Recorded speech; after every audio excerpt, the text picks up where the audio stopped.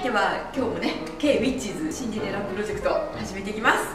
ではですね、えっと、じゃあ自己紹介こう自己紹介から はいえっとヘア担当の笠木留美子です。メイク担当の首藤あさみです。お洋服担当の三村はじめです。撮影担当竹美希です。はいでは今日も頑張っていきましょう。頑張っていきます。はい、ではですね、えっと、今日はですねやっぱりツイメージやっていきたいと思うんですけど、はい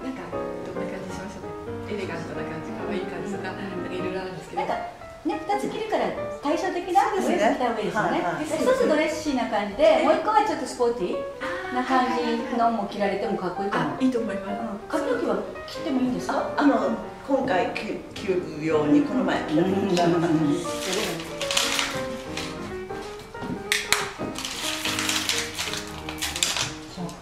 強烈な真っ赤だたので今日は少しシックな感じ。シックな感じ、うん、抑えない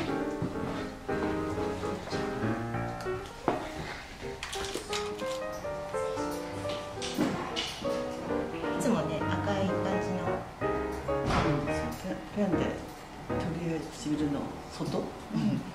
輪郭を作る赤い色で素敵なので、前回のクリスマスパーティーの時は真っ赤なドレスを着ていただいてねマリリン・モンローだったんですけど今日はなんかすごくや優しくちょっと森の妖精のようななんか紫の姫のようななんかそんな感じにしていました。このあのロのあのこう円形のブラウスなんですけどこれに合わせて、えー、とシルバーグレーっぽいんですけどね。着物のパンツワイドパンツに髪の毛のちょっとこうラベンダー風のカチューシャをはい。大人可愛くつけさせていただきました。はい。いかがでしょうか？後でちょっとネックレスそうだけど、ううん。ん、ネックにしたかって、でも全然違和感がない。はい、うん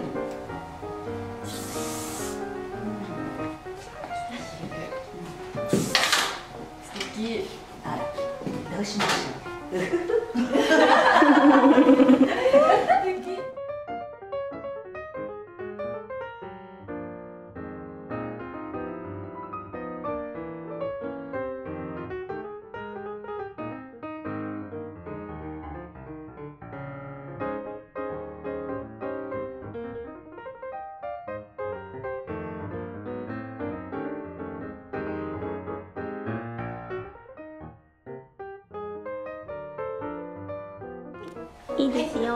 はい、では2点目、本日の2つ目のイメージをちょっとやっていきたいと思います、えっと、さっきスタイリングしたのであの今1回シャンプーできれいに洗い流してこれからカットさせていただきます。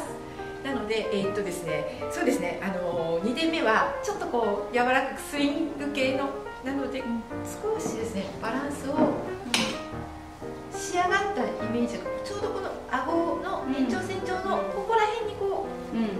ボリューム感がそうですね。くるような感じで、で横から見てもやっぱりこう後頭部のここにですねしっかりとボリュームがくるように。で柔らかい雰囲気で須藤さんの雰囲気の柔らかい優しい雰囲気を生かしてやっていきたいなって思います。ではではではもうシルバーのご自分のお色があのバランスよく徐々にこう入ってるんですよ。でそれにあのベージュブラウンの柔らかい優しいベージュブラウンを一回こう全体統一感持たせてあのなじませるんですね。白うん。白い髪の毛と黒髪を。でもともと比率がすごい白い部分が多いのですごい柔らかさが増してでさらになんとですねハイライトを入れてるんですよ実は。隠れ隠れハイライト。なのでちょっとこういった色のこう色のこうなんですかね。色のツヤ感みたいなねうんなんかコントラストがすごいうん。入ってるように見えるのはうん。そのこう隠れ技光の隠れ技です。外人風ですよね大事外人風ですよ。外人風の。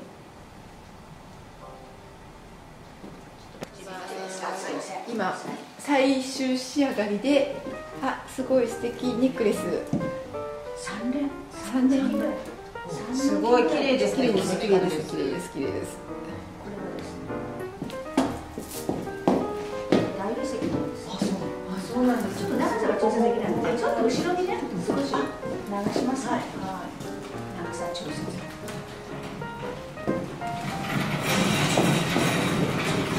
ちらっとこう見えるぐらいがいいと思います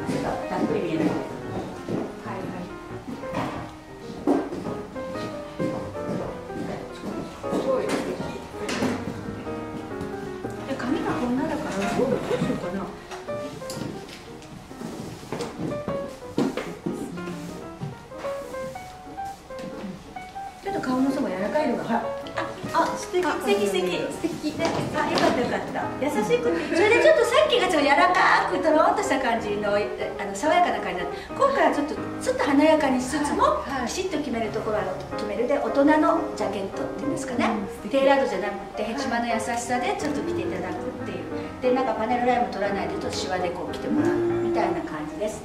であのここはちょっとこういうちょっと濃いめのオレンジのあのトップ玉系なんていうのかな。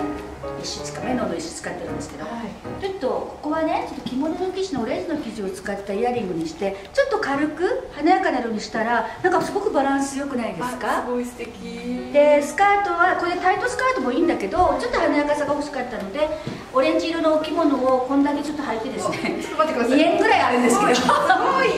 な感じでこう動くとこうシュッシュってこうなんかああ嬉しい大丈夫ですか？って いう感じでちょっとまた雰囲気違う感じにちょっとやってみました。いかがでしょうか？